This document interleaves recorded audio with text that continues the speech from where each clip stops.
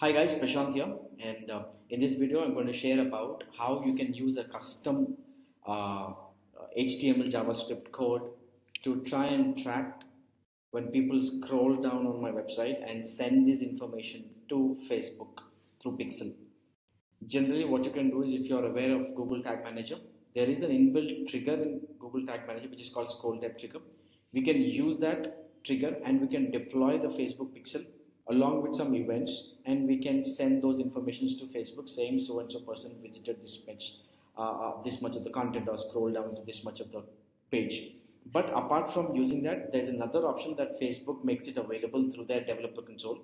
Right? If you go to developers.facebook.com, you have a custom HTML JavaScript code that Facebook gave you. So you can even implement this code to try and track the engagement of a user. And based on this, what you can do is you can even create custom audiences based on how effective uh, engagements were made or how people engage with your site. For example, I want to capture those people who came to my site and scrolled completely to the bottom of the page. They made their scroll completely the 100%. So you can put these people into a bucket and try and serve them different messages. So I'm going to show you this. Again, this is available through Tag Manager directly through a scroll depth trigger, but I'm not going to use that option. I'm using a, a, a custom code and implementing that through Google Tag Manager and see as to what we can capture.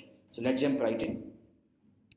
Now this is a Google Tag Manager account I have. So see, I, I, I, will show you two things. One is I am implementing the scroll depth event FB code through a custom HTML, and there's another thing that I can do through the uh, the the the uh, the normal trigger that we have. So I have implemented this part. So let me take you through.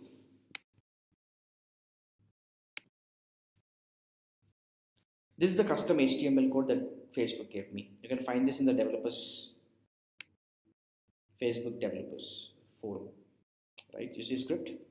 So what this code does is, this code will capture when somebody comes to my site. It will not just capture the page view, but apart from that, it will also capture the viewpoints, the checkpoints. View content checkpoints is what they're capturing it as. So you see, if you scroll down, I am capturing 10, 30, 50, 70, 90. This is what I want to capture. Or if you wanted to make it 10, 20, 30, 40, 50, whatever, you can put those uh, values there. And it is defined with checkpoints. Now, if you have little bit idea about how this code works, the JavaScript code, the HTML code, you see, whenever this happens, is it says initiate a Facebook request and send this interaction or activity as a track custom, which is a custom event. This is generally the syntax that we follow. And this is the name of the event, view content checkpoint and it is saying capture the depth as well and depth is captured here with the C. If you go back to C, the C is the checkpoint and if you go up the checkpoint is this 1030 that we've seen, you see. So what this does is when somebody comes to my website and scrolls to that particular part 10, 10, 10% or 30%, 20%.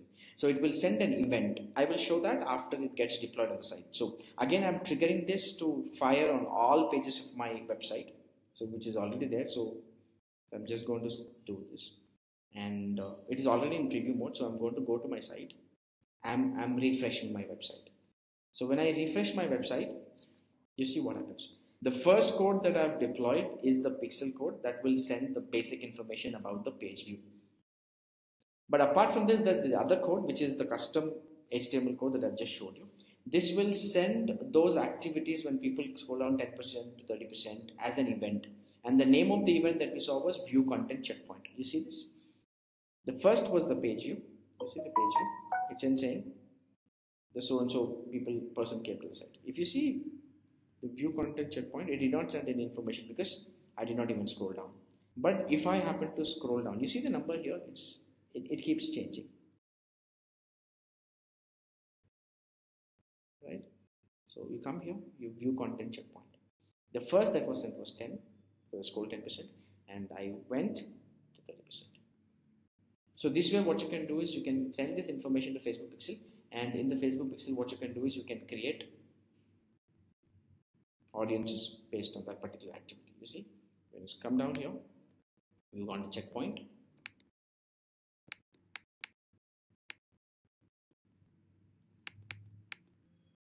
View content checkpoint and refine by URL parameter. And here you can say the depth. You say is, is you know less than 10 less than 30 and then you can create other buckets of people who scroll down to 10%, 30%, 50%, 70%, and you can use them as excludes. So this way, this way, what you can do is you can create those buckets or those custom audiences of people who engaged with your site in a way where you think, yes, I can do the marketing to these people. Or if you go back to analytics, there's another concept where you try and create an audience of those people who just bounce from your site in like five seconds, 10 seconds, and you capture them in one audience and you exclude them because you don't want to show ads to those people who just visited and left within 10 seconds. But rather, what you can do is you can here create a custom audience of those people who just came to the website and scroll to at least 50% of the page, and you can serve them with a different message, right? So this is a one small funnel that you can set up to show different ads to people who came to different uh, uh, checkpoints. You can try and implement this, and uh, if you have any questions, you can you know always let us know. And I will be sharing more videos about these new and in-depth features in my YouTube channel. If you haven't subscribed to our YouTube channel, please do that. Thank you. I will see you with another video soon. Thank you. Thank you so much.